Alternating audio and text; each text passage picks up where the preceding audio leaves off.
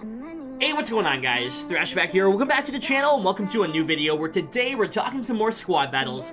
I'm going to tell you how to get the maximum points per game in squad battles. I'm going to tell you how to get as many points as possible. Now what's really cool is EA has updated the game today. And NHL 20 got a big content update and they now show you the maximum amount of points you can get per game. So if you play on Rookie, the most you can get is 542. Then 820 for Semi-Pro. Um, Pro is 1049, All-Star is 1603, and Superstar is 2272. And that's part one. You want to get the most points, you have to play on Superstar. Now you can get double the points by playing the, uh, the featured squad of the week, 4608 is the maximum you can get for playing and beating this team. Again, you have to play on Superstar. And how you're going to get the most amount of points is one, play on Superstar. Two, you need to win the game. You get a lot more points for winning than you do for losing, naturally. Three, score five goals. Four, get 20 shots on goal. You need to have at least 20 shots in the game to get the maximum amount of points.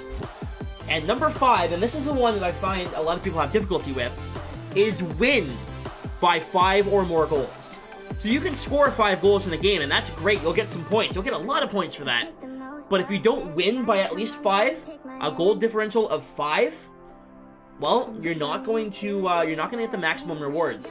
And this is all something that I found out on the EA website when they were talking about squad battles. You can see I've played zero games on this account. I am going to play one.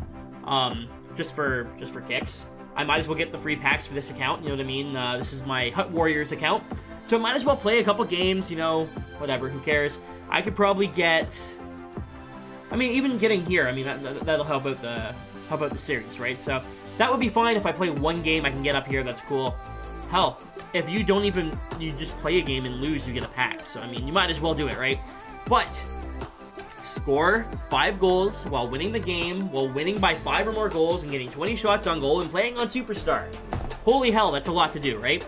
It's really not that. I mean, I I I play Superstar. Don't get me wrong. I every game I play Superstar because that's the maximum. That's the best way to do it, right? You get more points playing Superstar.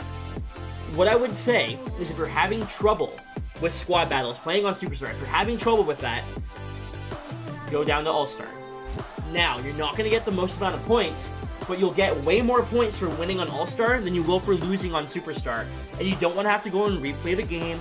You don't want to have to spend coin to replay the Superstar game and stuff like that. So, your best bet, if you can't win on Superstar right now, practice on All-Star, wait a few weeks, and then jump into Superstar later and try and get it done. Now, every week you're going to get a different um, featured battle. My suggestion for that play that on Superstar. Now, that's going to be really hard. If you can beat this one on Superstar, look at the difference in points. That's a big jump. The maximum you can get on Rookie is 1100. The maximum you can get on Superstar is 4600. That's a huge jump. Those extra 3, 3500 points, really. The extra 3500 points is going to give you a different rank almost. You might as well do your best. If you're going to play one game on Superstar, make sure it is the featured squad. If you want to play All-Star on these ones, that's totally fine. You don't get, you know, 2,000 points per game, but still get a decent amount, and as long as you play all of your games, you should be able to get at least, I would say Pro 1 to Elite 3, you'll get somewhere in here, which is still really good rewards. Those uh, yellow and blue packs in the middle there, those are insane packs, so hopefully you can get one of those. Now, like I said, this is just a quick video. I wanted to get this out there. A lot of people ask me how to get the maximum amount of points. This is it win by five goals in the game, and that's really going to help you out. Scoring the five goals is probably the hard part, and then, you know, saving all the, the shots. Now, what I like to do, and something that you guys can try out, is once you are up by five, or you score your five goals and you don't want to play anymore, put the controller down. A lot of times, the computer just kind of sits around and does nothing. Now, they're not always going to do that. You got to pay attention. But put the controller down, relax. A lot of times, the, the computer just kind of chills and then you can just finish off the period, finish off the game without having to play the game, without giving up more goals, without having to play defense, any of that. It, it's just it just seems to be easier. That's the best way to do it, in my opinion. But again, you want the maximum points. Play on Superstar. If you can't get it done on Superstar, All Star is not a bad option. Get a decent amount of points for that as well. Anything under All Star though, you're not going to be getting any of the top rewards. And trust me, some of the packs that you can get are just insane. You're going to want those top rewards.